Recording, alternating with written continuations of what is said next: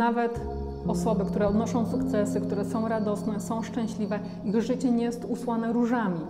Różnica nie polega w tym, czego my doświadczamy, tylko w tym, jakie znaczenie temu nadajemy. Notabene badania naukowe też pokazują, że jeśli nadajemy znaczenie wszystkiemu, co nas spotyka, i dobrym rzeczom, i złom, złym rzeczom, to wzmacniamy swój układ odpornościowy, układ immunologiczny. Rośnie też nasze poczucie własnej wartości, właśnie dzięki temu, że nadajemy znaczenie różnym wydarzeniom w tym życiu. Zachęcam Cię więc do tego, żeby widzieć sens we wszystkim, co Ci się przydarza, a nawet jeśli tego sensu nie widzisz, to żeby to przyjąć z pokorą i pomyśleć: OK, jeszcze wiele lat przede mną, a potencjał mojego umysłu jest niezwykły. I nastawiać się na to, co nieznane, ponieważ jeśli ćwiczymy sobie wizualizację, nastawiamy się na to, co nieznane, to okazuje się właśnie, że cała ta rzeczywistość daje nam zarówno rzeczy, które są pesymistyczne, które są złe, ale też które są dobre, które są jakąś okazją. Im bardziej się nastawię na nieznane i mam w sobie tą gotowość zmiany, tym łatwiej dostrzec mi okazję. W ostatnim odcinku z afirmacjami mówiłem Wam o technice oddychania pudełkowego, z którego korzystają oddziały Navy SEALs. Tym razem powiemy sobie o innej, opracowanej przez doktora Andrew Whale'a, która nazywa się 478. Pomaga ona przede wszystkim w wyciszeniu się oraz zmniejszeniu niepokoju. To ćwiczenie poleca się robić na siedząco z wyprostowanymi plecami, także jak leżysz, to na chwilę wstań. Schemat działania wygląda następująco.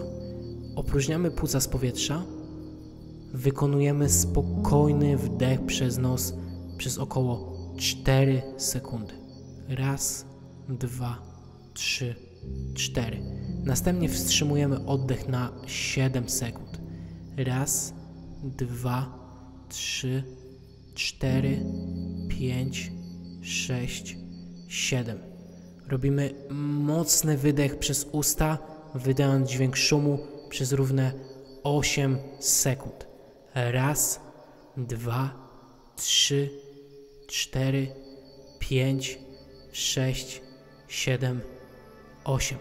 I powtarzamy to maksymalnie cztery razy, także słuchaj i powoli dokończ ćwiczenie. Uważaj na swoje lęki i obserwuj swoje lęki, ponieważ Twoje największe lęki mogą okazać się Twoimi największymi pragnieniami. Wiele osób twierdzi, że strach i lęk jest nierealny, bo jest tylko i wyłącznie w Twojej głowie. Ale to tak jakby też powiedzieć, że miłość jest nierealna i starać się udowodnić, że to, że kogoś kochasz jest tylko umowne albo jest jakąś symboliką. Tymczasem miłość jest bardzo realna, ponieważ przekracza wszelkie bariery, jak i strach jest bardzo realny, bo tworzy przeróżne bariery. I jeśli się boisz latać, to pozbawia Cię to wielu możliwości, ponieważ e, pozbawiasz się możliwości zwiedzania świata, podróżowania przez świat i poznawania nowych ludzi. Jeśli boisz się zagadać do swojego szefa o podwyżkę, no to pozbawiasz się wyższej wypłaty. Jeśli boisz się zmiany pracy, to pozbawiasz się możliwości doświadczenia nowej ścieżki zawodowej.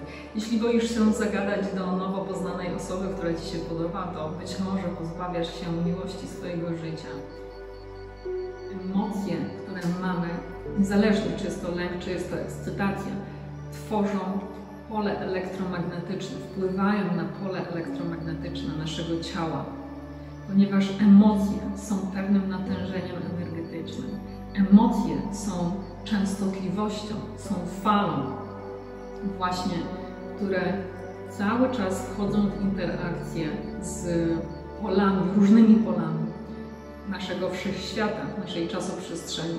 I też nieraz powtarzam, jeśli chcesz przyciągnąć przyszłość, najlepszą wersję swojej przyszłości, to musisz zakochać się w tej przyszłości, czuć ekscytację, pasję związane z tym, co masz przyciągnąć.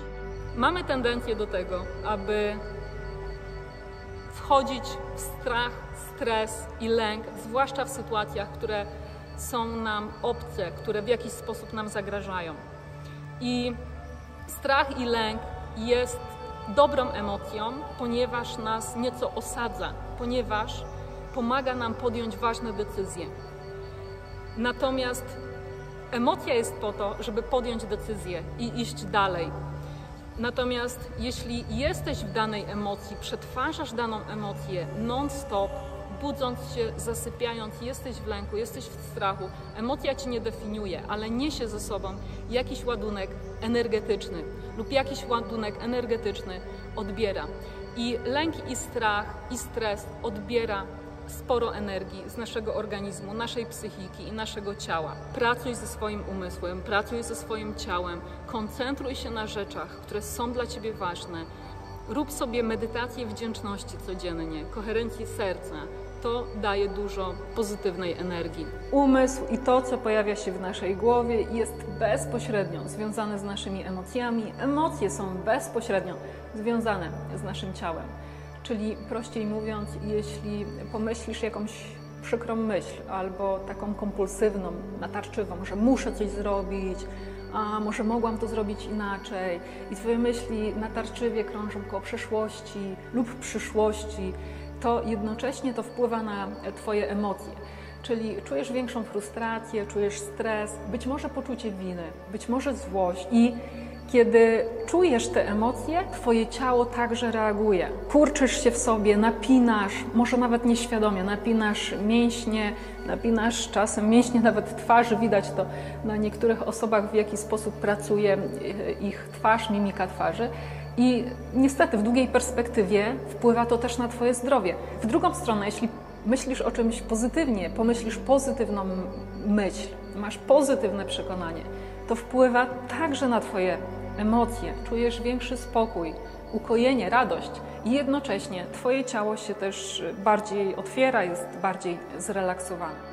Gdyby nie wszystkie te kryzysy, które w przeszłości mnie spotkały, nie byłoby mnie tutaj, gdzie jestem. Ponieważ bardzo mocno wierzę w to, że niezależnie jak trudna sytuacja nas spotyka i niezależnie na jakim polu, ona zawsze służy temu, aby Cię zatrzymać i żebyś się zastanowił, zastanowiła, co jest dla Ciebie ważne i w którym kierunku chcesz podążać. Jedną z najistotniejszych kwestii, jeśli chodzi o moje sytuacje kryzysowe i o mnie i widzenie siebie, było widzenie swoich emocji towarzyszących temu wydarzeniu, temu kryzysowi, jako takiej lawy, i wiedziałam, że albo to mogę tą lawę wykorzystać jak taki ogień i paliwo, żeby iść dalej, albo ta lawa we mnie zastygnie i będzie stanowić ciężar i będę później szła przez życie z taką toną swoich smutków.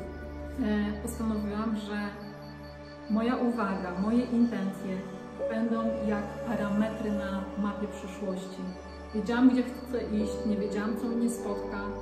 Z drugiej strony te emocje potraktowałam po prostu jako paliwo do doświadczania, zmiany.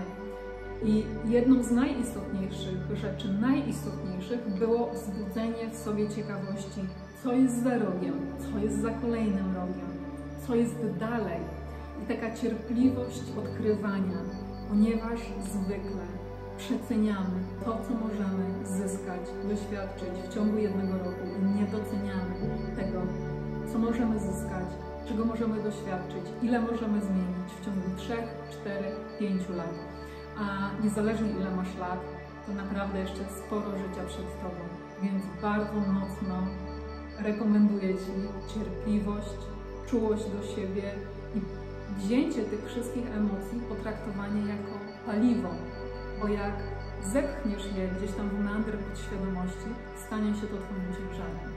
W moim przypadku największym przełomem w każdej z tych sytuacji, w każdym z tych kryzysów było danie sobie tej przestrzeni na odpoczynek i coś, czego długie, długie, długie lata nie doceniałam, ponieważ byłam skoncentrowana działanie, działanie, działanie, to nie doceniałam chwili, kiedy mogę sobie samej dać czułość, i miłość.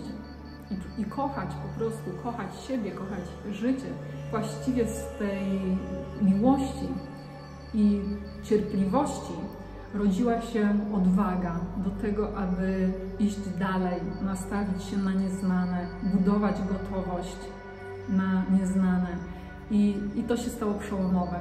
Emocje, które mamy, niezależnie czy jest to lęk, czy jest to ekscytacja, tworzą pole elektromagnetyczne, wpływają na pole elektromagnetyczne naszego ciała, ponieważ emocje są pewnym natężeniem energetycznym. Emocje są częstotliwością, są falą, właśnie, które cały czas wchodzą w interakcję z polami, różnymi polami naszego wszechświata, naszej czasoprzestrzeni. I też nieraz powtarzam, jeśli chcesz przyciągnąć przyszłość, najlepszą wersję swojej przyszłości, to musisz zakochać się w tej przyszłości, czuć ekscytację, pasje związane z tym, co masz przyciągnąć.